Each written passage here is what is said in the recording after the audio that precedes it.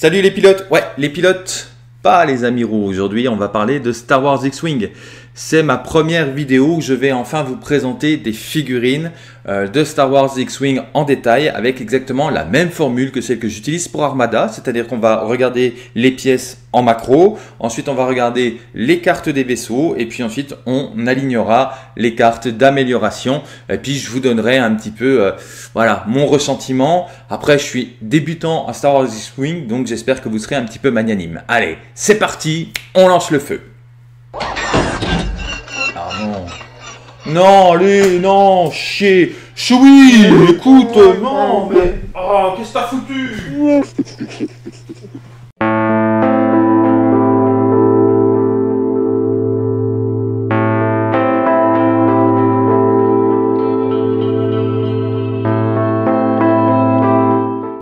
Bon allez, on commence avec euh, la présentation des vaisseaux en macro.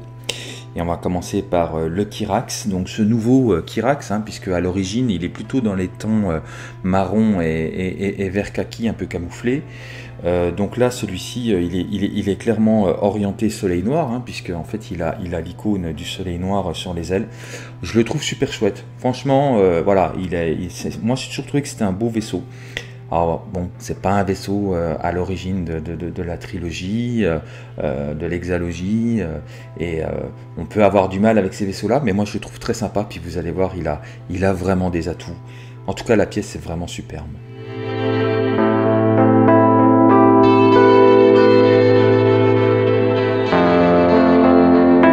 Allez, ensuite on parlera donc du Star Viper. Donc ce Star Viper, euh, il est redesigné aussi hein, avec des couleurs rouges. Alors c'est vrai que euh, ça, peut, euh, ça peut choquer, je sais qu'il y a des gens qui ne sont pas unanimes sur cette pièce. moi je dois avouer que je trouve que c'est un peu au niveau des aplats. Ça, fait, ça manque de relief en fait cette couleur qui a été choisie. Ça aurait mérité de briller un peu plus, d'autant plus qu'ils sont capables de le faire puisque vous remarquerez que, que, le cockpit en fait, la verrière du cockpit, elle, elle renvoie bien la lumière. Donc étant donné que voilà, j'aurais préféré que ces, plaques rouges en fait soient, plus brillantes. Bon, c'est pas le cas. Après, quand on la voit en vrai, ça reste une figurine qui est très impressionnante, qui a une belle taille et puis qui est plutôt racée. Donc euh, voilà, en demi-teinte, euh, mais, plutôt réussi quand même. Allez, on va présenter les choses dans le même ordre que la macro, c'est-à-dire que je vais commencer par euh, le chasseur Kirax. Donc le chasseur Kirax déjà, euh, il présente deux cartes qui ne sont pas nommées. Une qui vaut 20 et euh, une qui vaut 23. Alors, euh, vous le verrez, vous le comprendrez, euh, toutes les valeurs qui sont liées au vaisseau ne vont pas bouger, c'est-à-dire que même quand on arrivera sur un vaisseau qui est nommé, vous verrez en, fait que euh, la capacité d'attaque, la capacité d'agilité, la coque et le bouclier ne vont pas changer. Donc pour ce vaisseau Kirax, on a une capacité d'attaque qui est de 3, on a une capacité d'agilité qui est de 2, donc bon c'est plutôt, plutôt moyen au niveau de la défense. Euh, par contre, on a une coque qui est de 4 avec un bouclier de 1, donc ça fait quand même 5 euh, touches euh, pour pouvoir définitivement se, débarrasser en fait de, ce Kirax, ce qui est quand même assez, honorable étant donné le, coût du vaisseau et surtout les améliorations qu'on va pouvoir y apporter. Au niveau de la barre des actions, il n'y a, pas grand chose, hein. il y a concentration et ciblage. Euh, bon, ciblage, c'est logique, hein, puisque vous allez voir que dans les améliorations, euh, ce Kirax est capable d'emporter en fait euh, un missile et notamment un harpon. Et là, vous allez voir que ça fait très très très très mal. Au niveau des deux cartes nommées, donc la première pour une valeur d'initiative de 4 et un coût de 24, vous avez Capitaine Justero. Donc la capitaine Jostero, donc je reviens pas hein, sur, euh, euh, le vaisseau, hein, c'est exactement euh, le même que, les, que, Kirax qu'on a présenté juste avant. Par contre, donc lui, il a une spécificité de pilote, hein, qui est donc le texte qui est au milieu, et qui dit que une fois par tour, après qu'un vaisseau ennemi qui n'est pas en train de défendre contre une attaque a subi des dégâts ou dégâts critiques, vous pouvez effectuer une attaque contre ce vaisseau. Après, au niveau euh, de la barre d'amélioration, bon ben, euh, il est comme le, le, Kirax juste avant euh, qui, coûtait, qui coûtait lui 23. donc voilà, pour la carte qui vaut le plus cher, elle vaut 25. donc c'est Victor Hell. après avoir défendu, si vous n'avez pas lancé exactement 2 dés de défense, l'attaquant reçoit un marqueur de stress. Alors au début, je comprenais pas trop cette carte. Euh, pourquoi il parle de lancer exactement 2 dés de défense? Eh bien tout simplement parce qu'en fait, en fonction de la distance à laquelle vous défendez, vous avez des malus euh, de défense ou, des bonus. Donc en fonction de la distance à laquelle vous êtes, vous allez pouvoir bénéficier en fait de cette capacité-là. De toute évidence, c'est, euh, je crois, la distance moyenne. À partir de la distance moyenne, vous lancez effectivement vos 2 dés de défense et donc, euh, du coup, bah, l'attaquant va recevoir un marqueur de stress. Vous aurez également la possibilité euh, d'équiper votre vaisseau en fait d'une décharge ionique. Donc, c'est une carte illégale. Donc, c'est une carte qui est réservée en fait au scélérat. Alors, qu'est-ce qu'elle fait cette charge ionique? Après avoir reçu un marqueur ionique, donc le marqueur ionique, c'est un marqueur en fait qui va figer un peu votre, votre vaisseau et vous ne pouvez plus aller que euh, dans une seule direction, en l'occurrence en ligne droite pendant un tour. Euh, vous pouvez choisir un vaisseau ennemi à portée de 1. Dans ce cas, retirez le marqueur ionique que vous venez de recevoir. Ensuite, ce vaisseau ennemi peut choisir de recevoir le marqueur ionique. Dans ce cas, je défaussez cette carte. Alors c'est un peu bizarre, qu'est-ce qui se passe? Je suis touché par une frappe ionique, donc normalement je, suis, je subis en fait les effets négatifs du marqueur ionique. Si j'ai euh, un vaisseau en fait ennemi à portée de 1, je peux lui dire, ben voilà, ce marqueur ionique, je vais m'en débarrasser. C'est euh, soit tu me laisses m'en débarrasser tranquillement et puis la prochaine fois, ben, je recommencerai. Soit tu te l'attribues à toi-même et du coup, je défausse cette carte. Voilà. Donc en fait, c'est une espèce de pari. Euh, il y a de fortes chances que celui qui vous ait tiré un marqueur ionique ce soit à lui que vous essayez de lui redonner le jeton. Donc il va être intéressé de pouvoir vous le remettre plus tard, quand il va voir que vous en débarrassez. Donc en fait, il aura tout intérêt, s'il veut continuer à pouvoir vous tirer avec des marqueurs uniques, à se débarrasser de cette carte-là, à faire en sorte à ce que vous vous débarrassiez de cette carte-là. Et donc, à prendre le marqueur unique à votre place. C'est subtil, hein? Ouais, c'est très fun. Vous avez également la carte de titre. Donc je vous rappelle que la carte de titre, elle est uniquement liée à un type de vaisseau, en l'occurrence ici, le chasseur Kirax. Cette carte, elle s'appelle Vaxai. Qu'est-ce qu'elle fait? Le coût en points d'escadron de chaque amélioration dont vous êtes équipé est réduit de 1 jusqu'à un maximum de 0. Vous pouvez vous équiper de 3 améliorations et modifications différentes. Cette carte, elle vaut 0. C'est-à-dire que, en gros, quand vous jouez Kirax, elle doit toujours être sur votre vaisseau. Et à partir de ce moment-là, eh ben, votre charge ionique, qui coûtait normalement 2, eh ben, vous coûtera plus que 1. Et puis votre harpon dont on va parler, qui vous coûte normalement 4, il vous coûtera plus que 3. Donc c'est extrêmement intéressant, parce que ça vous fait économiser énormément d'argent. Et puis quand on est un pirate, eh ben, le pognon, on aime ça. Allez, on va parler de la carte harpon. D'accord? Il va falloir se concentrer un petit peu. Donc le harpon, c'est un missile. Donc c'est une arme secondaire. On a vu au début euh, que vous aviez des cartes avec des valeurs rouges. La valeur rouge, c'est euh, l'arme principale, mais vous pouvez équiper votre vaisseau d'armes secondaires. D'accord? Donc ici, la valeur, c'est 4. Donc cette arme secondaire, euh, elle va lancer 4 dés rouges pour attaquer. Vous voyez d'ailleurs que c'est un missile qui vaut 4 en valeur, en bas à droite. Donc ça, c'est quand vous constituez votre armée, eh ben ça, ça va vous coûter 4 d'équiper votre vaisseau de ce missile. Bref, on revient. 4 dés rouges à lancer, donc cette fois-ci c'est ça qui va déterminer la valeur d'attaque. Juste en dessous vous avez euh, la valeur de 3. C'est la valeur de distance à laquelle ce missile peut être utilisé.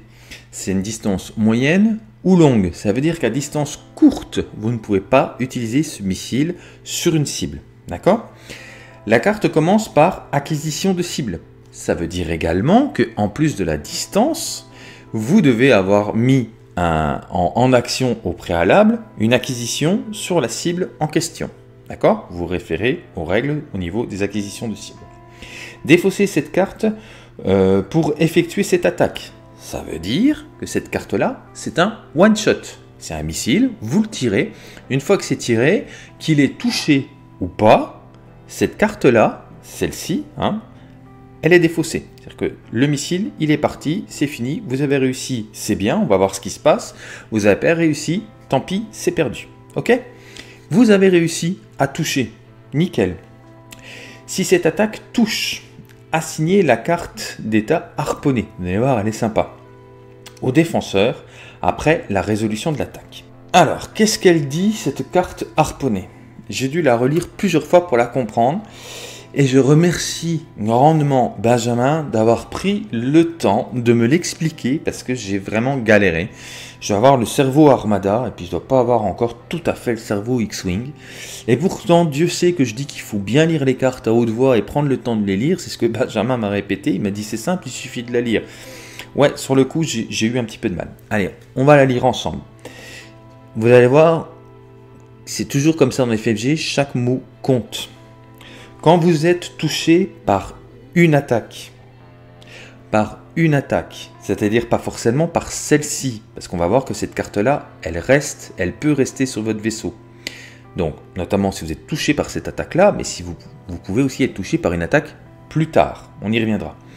Donc, quand vous êtes touché par une attaque, si au moins un résultat critique n'a pas été annulé, donc admettons que le missile que je viens de tirer dedans, il y a un critique et vous ne l'avez pas annulé, dans ce cas, chaque autre vaisseau à portée 1 subit un dégât. Donc déjà, ça pète un peu aux alentours. Ensuite, vous défaussez cette carte et vous-même, vous recevez une carte de dégâts face cachée. Ok? Ça, c'est si, dans les dés que je viens de lancer, il y a un critique. S'il n'y a pas de critique, cette carte-là elle reste sur votre vaisseau. On est bien d'accord. Donc, dans le round qui suit, à chaque fois que vous allez vous faire attaquer, si jamais il y a un critique qui tombe et qui passe, il va falloir revenir sur cette carte et appliquer ce qu'on vient de dire. D'accord?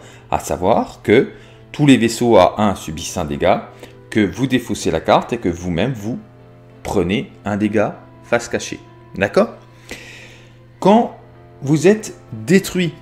Si vous avez toujours cette carte sur vous, et on va voir qu'on peut l'enlever, c'est ce que je n'avais pas compris.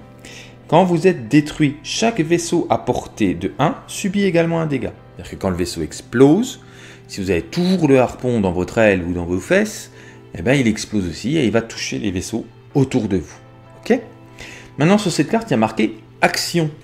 Alors, qu'est-ce que ça veut dire cette histoire d'action? Alors, je sais bien, il y a plein de gens qui regardent la vidéo qui sont fans d'X-Wing et pour eux, c'est une évidence. Mais je peux vous dire qu'il y a des gens qui regardent la vidéo pour qui ça n'en est pas une. Une action, c'est une des choses qu'on fait dans la phase de jeu. Il y a un moment, on va résoudre les actions. Eh bien, une des actions que vous pouvez faire, c'est de tenter de retirer, en fait, de défausser cette carte. Pour ne pas continuer à avoir le missile planté dans l'aine, en fait, bah, ce que vous pouvez faire, c'est essayer de le retirer. Et ça à vos risques et périls. Parce qu'il y a bien marqué que L'action, c'est défausser cette carte. Ensuite, lancer un dé d'attaque. Donc on lance un dé d'attaque. Sur une touche ou un critique, eh ben là on subit un dégât. Allez, le Star Viper maintenant. Bon, alors, le Star Viper, euh, il y a trois cartes. Enfin, il y, en a, il y en a quatre en fait, mais il y en a une en double qui vous est donnée. Là, pareil, je ne sais pas pourquoi c'est en double. Si vous êtes capable de me dire, j'imagine que c'est pour pouvoir en jouer euh, deux sur la table. Euh, la carte a évolué. Euh, voilà, j'ai pas assez d'ancienneté dans Star Wars X-Wing. Donc merci de me mettre en commentaire pourquoi il y a deux fois la carte Assassin du Soleil Rouge dans la boîte. Moi, j'ai pas tout à fait compris. Je suis très ouvert à la critique et je suis très ouvert aux informations pour progresser. Bref. Euh, je vais commencer d'ailleurs par cette carte-là. Euh, bon, la carte assassin du, soleil noir, les capacités du vaisseau. Hein. Donc en initiative, en capacité de pilote, euh, on a 5. En attaque, on a 3. En agilité, on a 3 aussi. Donc ça, je trouve ça assez sympa. c'est quand, même, un de plus que le, que le Kirax. On a 4 en coque et on a un en bouclier. Donc on a quand même un vaisseau qui est nettement plus véloce. Bon, après, il commence à 28, donc il coûte quand même euh, assez cher, il coûte quand même beaucoup plus cher que le Kirax. Mais vous allez voir, il a beaucoup de subtilité. Il a une barre d'action qui est quasiment pleine, hein, donc c'est assez hallucinant. Il a le tonneau, il a l'accélération, il a le ciblage et il a la concentration. Donc c'est vraiment un vaisseau qui, est assez impressionnant. Alors je sais que c'est un vaisseau où j'ai lu que c'était un vaisseau qui était boudé par les joueurs, mais franchement quand je vois ce vaisseau là maintenant, cette carte là maintenant, euh, j'imagine qu'on va le revoir sur les tables et on va le revoir dans les championnats. Bon allez, on va voir Dalan Oberos. J'adore les noms euh, de Star Wars, c'est super facile pour, euh, pour, les vidéos.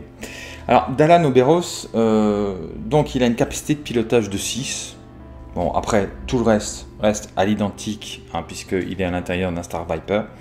Vous allez voir, la subtilité, elle est ailleurs. elle est en fait dans sa capacité de pilote. Donc c'est assez compliqué à appréhender. J'ai pris le petit dessin hein, qui, va, euh, qui va bien et qui va vous permettre de comprendre. Si vous n'êtes pas sous l'effet du stress, donc l'effet de stress c'est notamment si vous avez fait un mouvement rouge, vous avez un marqueur de stress sur votre vaisseau et normalement vous n'êtes pas capable de refaire un mouvement rouge tant que vous avez ce jeton là. Il faut faire une manœuvre verte pour se libérer du stress. Ça, c'est la macro-règle. D'accord? Donc, dans cette carte-là, c'est si vous n'êtes pas sous l'effet du stress. Quand vous révélez une manœuvre de virage, donc en fait, vous avez choisi sur votre cadran un virage. D'accord? À droite ou à gauche. Virage sur elle ou boucle de Segnor? Boucle de Segnor, c'est un virage bien spécifique. Vous pouvez la considérer comme une manœuvre rouge, tonneau de tonneau de talon tonneau de talon. Essayez de le dire dix fois, vous verrez, c'est chiant. De même direction, droite ou gauche. Donc vous voyez, euh, là on voit le vaisseau en fait qui tourne vers le bas. Donc ça c'est la valeur révélée. Je ne suis pas sous l'effet du stress, donc en fait ce qui va se passer c'est que je vais pouvoir faire un tonneau de talon en utilisant en fait cette valeur de virage. Soit je la prends sur la droite et sur la gauche, donc là en l'occurrence il va partir vers le haut, donc il prend sur la gauche, hein, m'avez suivi, et donc il va faire un tonneau de talon, donc en fait il va tourner un coup en arrière, puis ensuite il va venir se repositionner sur le côté, sur le haut, du vaisseau. C'est extrêmement violent, on est bien d'accord en utilisant donc le gabarit de manœuvre que vous venez juste de révéler, c'est bien ce que je vous disais. Donc vous voyez, le, pauvre TIE Advance, là, euh, bah, il pensait l'avoir euh, pile poil dans son axe, et en fait, il se retrouve avec un vaisseau qui, euh, hop, en deux temps, va, va dégager de son axe principal et va venir se mettre sur le côté. C'est vraiment, vraiment, vraiment dégueulasse. Alors, on va regarder la carte titre qu'il y a avec le Star Viper, elle, est très sympa, celle-ci déjà, elle vaut moins 3 tranquille. Donc quand vous l'attribuez, ben, vous gagnez vous gagnez 3 points de, de, de, coût de confection du, vaisseau. Voilà, moins 3. J'avais jamais vu moi ça. Bon, après je suis débutant en, Star Wars X-Wing, mais moins 3, j'avais jamais vu. Euh, donc Star Viper uniquement, hein, puisque c'est une carte titre. Euh, vous pouvez vous équiper de deux améliorations titres différentes. Bon bah déjà ça, ça commence bien. Et il y a un truc sympa. Quand vous effectuez une action de tonneau, vous devez utiliser un gabarit virage à droite ou virage à gauche de 1 à la place du gabarit tout droit de 1. Vous avez compris? Allez, dessin. Vous voyez ici, là, sur le dessin, dans le premier cas, euh, on voit en fait qu'il utilise euh, un gabarit pour faire son tonneau. En fait, il fait un virage, puis à l'issue de son virage, il fait un tonneau. Le tonneau qu'il fait, il le fait avec le gabarit de 1 en ligne droite. Et donc, comme c'est un tonneau, ça déplace le vaisseau sur la droite ou sur la gauche, mais sur le même axe. D'accord?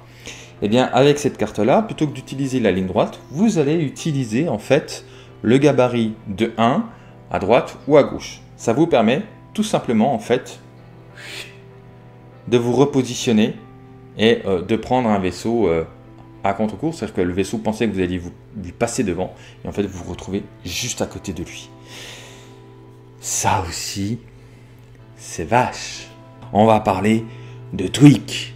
Alors franchement, quand j'ai déballé euh, la boîte, je me suis demandé mais qu'est-ce que c'est que ce truc De quoi il me cause? Alors en fait, Tweak, euh, il a deux capacités qui sont absolument au final excellentes. Je vais vous la lire. Alors, sinon la carte ne change pas. Hein. Vous avez euh, de l'initiative de 4 quand même. Donc là, ça baisse un petit peu. Le vaisseau coûte 28. Euh, il a toujours une barre d'action aussi conséquente, hein, puisque cette barre d'action elle est, liée au vaisseau, mais par contre, eh ben, effectivement, Tweak il a une particularité, on va la lire ensemble. Pendant la mise en place, la mise en place de la partie, avant l'étape placer les forces, donc avant de déployer. Donc en fait, on sait ce qu'il va y avoir en face, hein, on voit les vaisseaux qu'il va y avoir en face, mais pour l'instant, personne n'est déployé. Vous pouvez choisir un vaisseau ennemi et lui assigner la carte d'état, pisté ou répliqué. Alors, qu'est-ce que c'est donc que ces bestioles-là? On va commencer par Pisté. Alors, Pisté, c'est Tweak est considéré comme ayant la valeur de pilotage que vous aviez à la fin de la mise en place. Ça, ça parle à la personne à qui je donne la carte. Cette carte-là, je la pose. Donc en fait, mon vaisseau, qui a une valeur de pilotage de 4, eh ben, il va être capable de récupérer la valeur de pilotage d'un vaisseau d'en face. Donc assigner cette carte-là au plus bourrin. Quoi. Vous avez Podambron en face avec une valeur de pilotage de 9. Eh ben, vous prenez cette carte et vous posez cette carte-là sur Podambron et vous vous retrouvez avec votre tweak avec une valeur de pilotage de 9. C'est énorme. C'est énorme. Je termine. Si votre valeur de pilotage est modifiée ou si vous êtes détruit, celle de Tweak n'est pas modifiée. C'est-à-dire que si Podambron meurt, donc son œuf disparaît, hein, sa carte disparaît, son vaisseau disparaît. Moi, je suis parti avec 9 d'initiative, de qualité de pilotage. mais je garde ma qualité de pilotage jusqu'à la fin de la partie. Cette carte-là, c'est du shit, quoi. Sérieux, quoi. C'est honteux de sortir un truc pareil. Et sinon, vous avez répliqué. C'est pas mal non plus. Euh, répliquer, euh, Tweak est considéré comme ayant la capacité cette fois-ci, donc le texte en fait, la capacité du pilote. Voilà. C'est-à-dire qu'au lieu de prendre en fait euh, sa valeur orange, vous récupérez ce qu'il y a euh, dans, le texte de, la carte. Tweak ne peut pas assigner une carte d'état en utilisant votre capacité de pilote, quand même pas pousser. Hein. Tweak ne perd pas votre capacité de pilote si vous êtes détruit. Là, c'est exactement comme pisté. Si le vaisseau est détruit, eh bien, vous gardez quand même euh, votre action. Donc, par exemple, hein, on prend un TIE Advance. Hein, euh, je crois qu'avec Dark Vador, euh, il a deux actions, si je me souviens bien. le TIE Advance doit, doit, être capable de faire deux actions. on y reviendra, je mettrai en commentaire si je me suis planté. Et eh bien là, vous allez récupérer en fait cette capacité à avoir deux actions partout. Voilà, tweak c'est carrément le vaisseau qui va s'aligner euh, sur toutes les tables dorénavant. En tout cas, moi je peux vous dire que vous allez vous le retrouver en face. Dans la boîte, vous avez également ces trois modifications. Donc je vous rappelle que normalement les modifications, vous pouvez les mettre sur n'importe quel vaisseau, sauf contre-indication, vous allez voir qu'il y en a. On va commencer par euh, le propulseur euh, vectoriel. Donc le propulseur vectoriel, c'est petit vaisseau uniquement déjà. Donc vous voyez, il y a une information qui, vous le dit. Et euh, votre barre d'action gagne l'action tonneau. Donc en, l'occurrence, bah, pour la Star Viper, c'est pas très intéressant. Par contre, bah, dans cette boîte-là, pour le Kirax, ça peut être intéressant de rajouter, de rajouter. Euh, vous avez également cette carte-là, bouclier à rayon pulsé. Donc celle-ci, c'est rebelle et euh, uniquement. Tant pis pour l'Empire.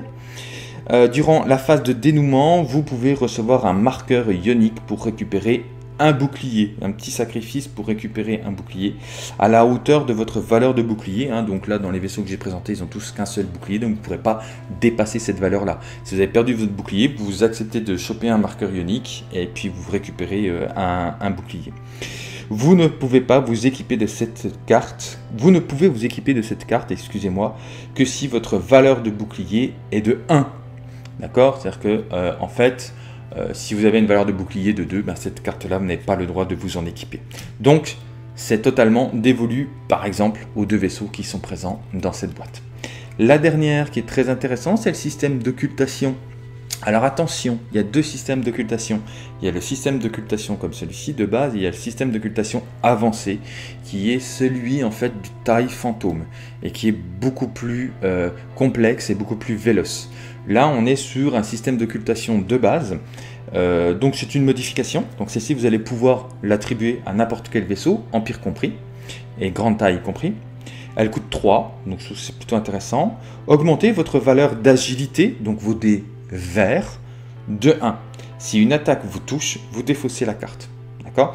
Donc en fait, c'est comme si vous étiez un peu masqué, un peu camouflé, donc forcément vous êtes plus difficile à toucher, et donc vous avez un dé en vert de plus pour vous défendre. Par contre, si vous êtes touché, vous perdez la carte. Wesh, c'était très dense. Euh, je m'en excuse, mais c'est une boîte euh, qui, qui, vaut quand même la densité.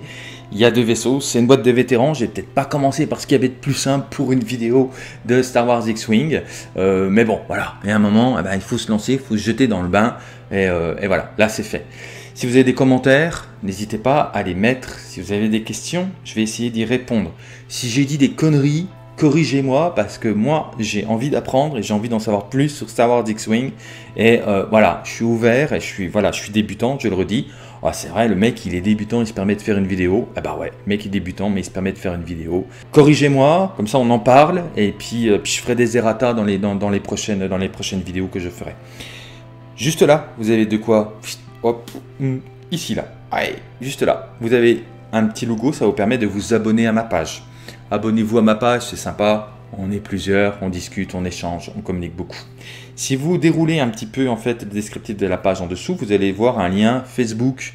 C'est ma page Facebook sur laquelle je retrouve en fait tous mes abonnés et avec qui on échange. Vous verrez, on n'y parle pas que de Star Wars X-Wing ni de Armada. Moi, je parle en fait de tous les jeux qui m'intéressent. Je, parle de Bolt Action, je parle de BD aussi, je parle, de séries.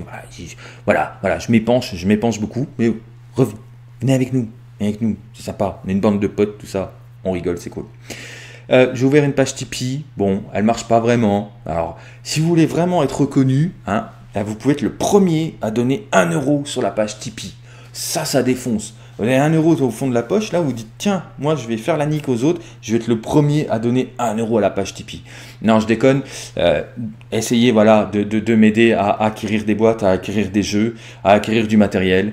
Voilà, il y a une page Tipeee, elle sert à ça, ce serait cool. En attendant, si la vidéo elle vous a plu, vous me mettez un petit pouce. Ça par contre, ça coûte rien. Et puis l'intérêt, c'est que ça me fait monter dans les références de YouTube. Ça me permet de gagner en visibilité et ça permet de retrouver plus facilement des vidéos en français sur les jeux préférés. Allez, je vous souhaite à tous de bons jets parce que comme je le dis toujours, il n'y a bien que ça pour poutrer le type d'en face. Bon, c'est bon, ça marche Allez, ça marche. Je vous dis à très bientôt. Bye bye.